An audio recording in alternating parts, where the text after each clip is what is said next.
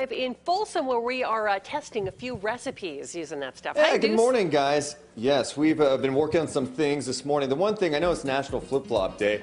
I was like, I'll show off my feet in this segment. Patty goes, No, you better not show off those feet. We're doing food. You're not ruining my food with those nasty feet. You should have seen her face when I walked in. She was looking at my feet like, What are those things? Do not Join the club. Do not show those. All right.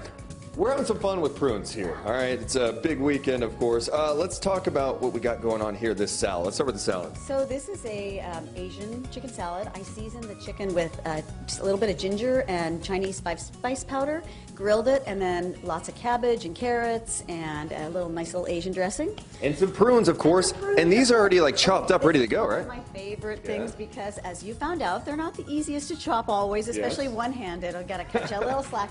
But these are already diced up. Look how cool that is. Nice. Yeah, so perfect for cookies. That's uh, what I put in my salad. Then, of course, we have cookies. Oh, you got to yes. have dessert, but the star of the show is our uh, pizzettes here.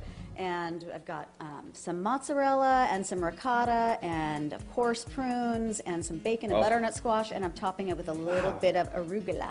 That is so awesome, and Yeah. it seems like it's really easy to do too. Really easy to do, yeah, definitely. You can just buy store-bought uh, pizza crust, and yeah, super easy. And what, what's in the cookies? Uh, wh- how do you make those? Cookies is just kind of like a traditional Yeah. chocolate chip cookie recipe, but instead of chocolate chips, it's prunes. Nice. And then the recipe, Sunsweet, for their 100th anniversary, has put together this nice little booklet. Some of the recipes are vintage from like their 1950s cookbook Wow. um, that are just you know revised a little bit, and some are brand new. So they're going to be passing this out at the Summer Stroll in Yuba City. Saturday starts at 2 o'clock. Like I said, free games, music, Sunsweet's passing out some samples, snacks. So it should be a, a really fun event. Now, and they go to the website too to get some of these recipes. Um, Sunsweet.com for sure. Sunsweet.com. Uh, were you? How do you? Were you offended when Steve Garcia, our photographer, tried one of the cookies and goes, "Wow, this is actually pretty good"? Were you offended by happens that? all the time. Nobody trusts my cooking. You know, I've been doing it for 30 years. Nobody trusts me. So, no. Well, see, you know, you got to try everything, right? And Yes. out. I'm- I'm digging this pizza. fantastic In the pizza. And Well- I think the biggest aha is people try Prunes these and recipes pizza. And think that there's no way.